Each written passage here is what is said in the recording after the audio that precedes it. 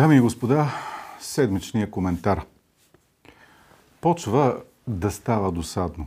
Пак предложение да бъдат демонтирани, сринати, махнати, унищожени символите на комунизма у нас, воглаве с произведенията на изкуството от това време, а той да бъде признат за престъпен.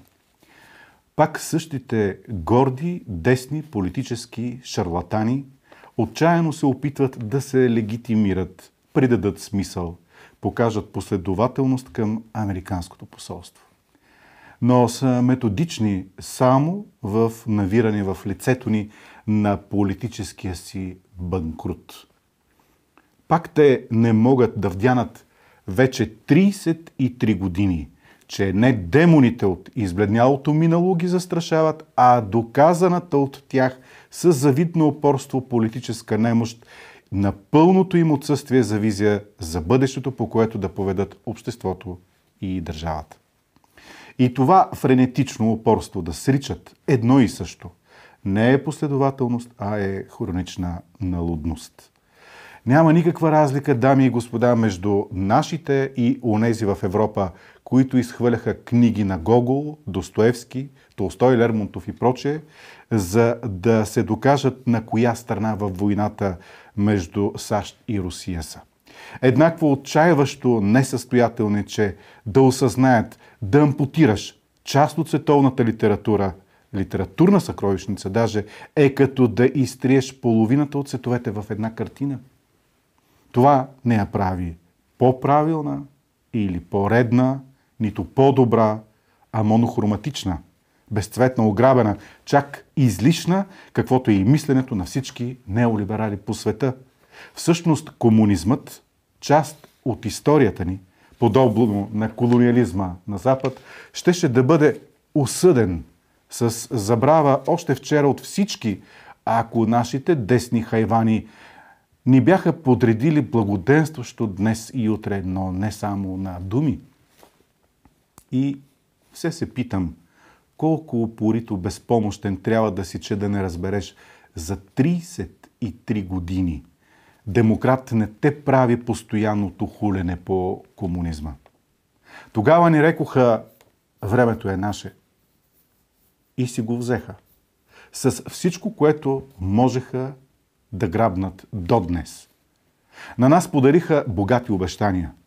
33 години всеки ден търкат, лющят, трият, дърят комунизма за хем да си предадат смисъл на девалвирането си, хем да отклонят вниманието, за да не ги пита българинът.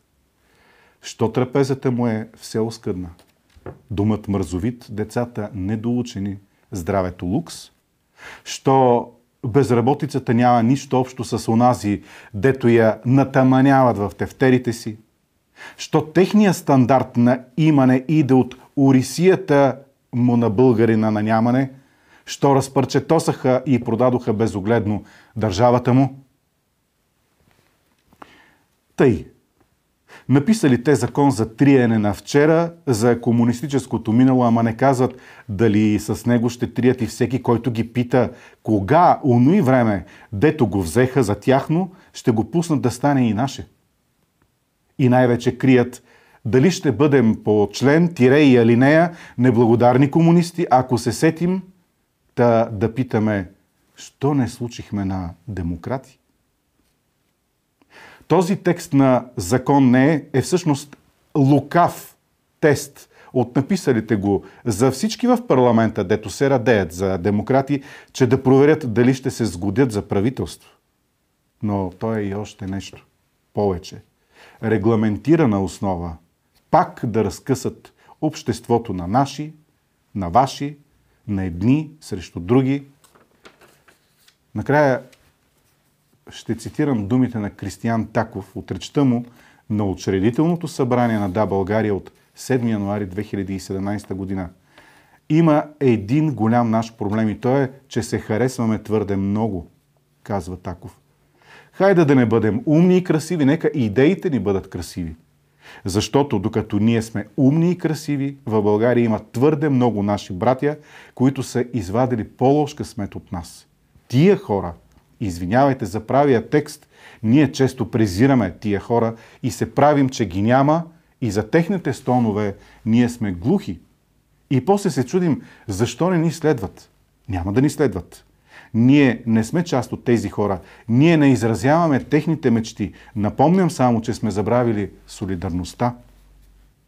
Представяте ли си какъв честен и красив ум имаха в редиците си десните?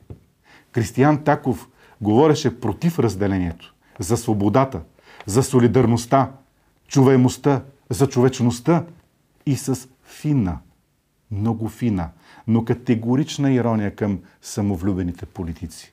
Само един извисен ум надмогнал партизанската стяга на партиите, но осъзнал чистотата на идеите и смислието им може да напише по отношение на семейните ценности, аз съм консерва. По отношение на личните свободи, аз съм либертарианец. По отношение на културата, аз съм левичар. А по отношение на морала съм екстремист. Сега си представете, дами и господа, какво щеше да пита авторите на този законопроект Кристиян Таков. Дето им рече истината в сурата – ама те си продължиха как си знаят.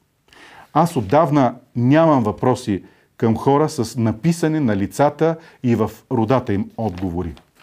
Разбрал съм, че за тях темата антикомунизъм е една банкетна маса, на която 33 години им сервират дните си огнетения и оголял български народ. Благодаря ви.